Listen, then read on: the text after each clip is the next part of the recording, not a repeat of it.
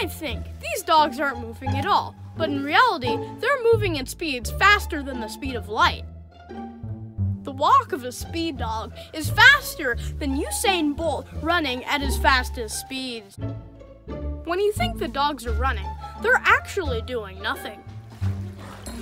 As you can see, I'm currently testing the speed dog. The speed dog is going at speed so fast that if someone were to get in front of the speed dog while it's going at these speeds, once the second the dog will touches you, you will turn to dust like Spider-Man from Infinity War. This is the speed dog fuel. This is what the speed dogs run. Uh, the, the speed dogs get these in their mouths and go directly to land. That's what makes them work. A speed dog is fed five stars a day. And not just these tiny little stars, the biggest stars in the universe. What? I didn't know